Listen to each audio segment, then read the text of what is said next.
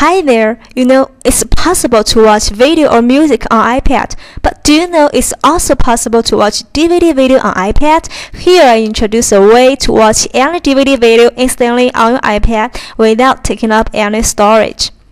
To begin with, you need to rip your DVD to iPad-friendly format.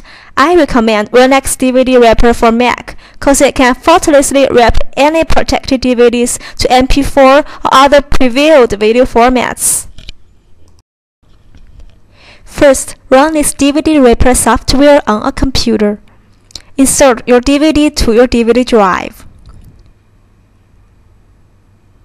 Choose to iPad as your target format. Here you can choose the output profile among these options according to the screen size of your iPad.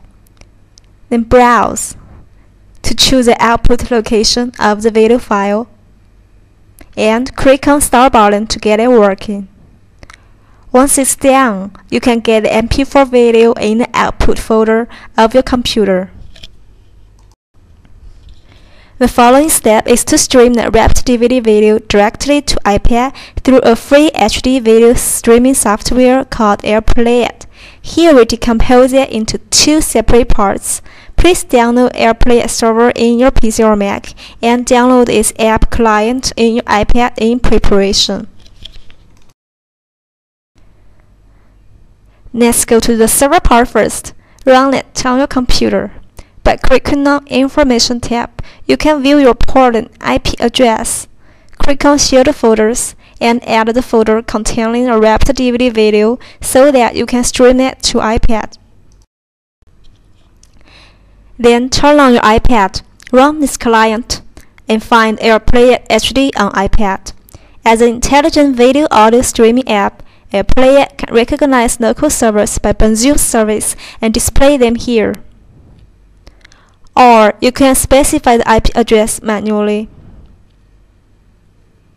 After entering the server, you can see all video and music folders you've added in your shared folders on the server part.